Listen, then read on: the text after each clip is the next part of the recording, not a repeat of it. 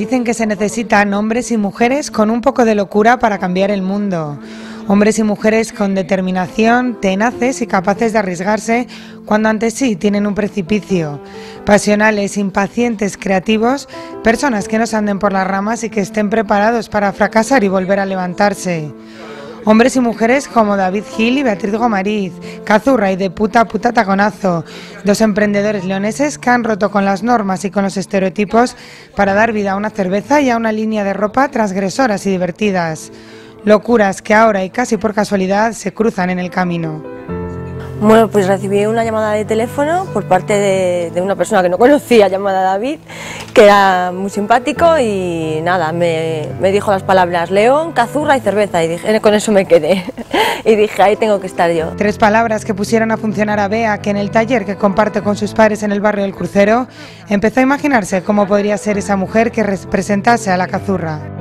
Eh, en un principio la idea era transmitir así como algo vintage y tal, pero bueno, luego me pareció muy aburrido para el carácter transgresivo de la cerveza cazurra.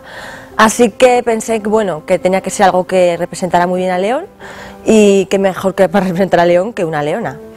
Y como ya sabemos que las leonas son las que llevan la manada, a la manada, las que cazan, las que se ocupan de todo, pues las pusimos como protectoras del subcachorro que sería la cerveza cazurra.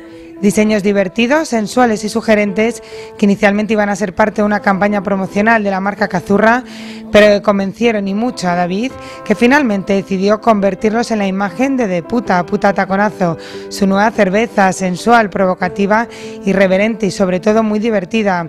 Una cerveza que sin duda está hecha a la medida de Bea. Hicimos una cerveza con mucha miel, miel de Orzonaga, de un pueblo de León, eh, y le echamos eh, bueno, es una malta tostada, muy tostada, y tiene 7 grados de alcohol, lo que, lo que incita mucho a la fiesta y al pasarlo bien. Así que esa era, esa un poco la, la, la imagen de Bea en una olla con malta y agua. ¿no?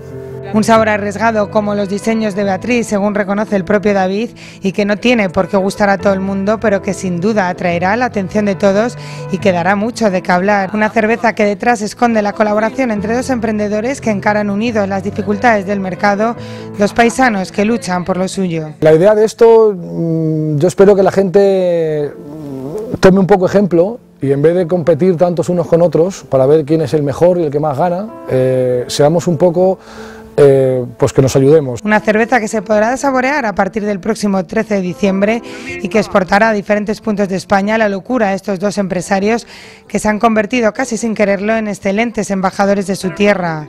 Serán 3.000 las botellas las que se pongan a la venta, aunque David ya asegura que no descarta ampliar la producción dependiendo de la aceptación de su público. Eso sí, lo que sí tiene claro es que la leona de Beatriz es desde ahora una seña de identidad de la cazurra. La, la leona va a ser un, un acompañante a, esta historia que no sé cuánto durará. Una historia que seguro, bien sea por separado o unidos, durará mucho. Y es que gente como Bea y como David, con ganas de arriesgar, de emprender y de apostar por una idea, es la que necesita este mundo.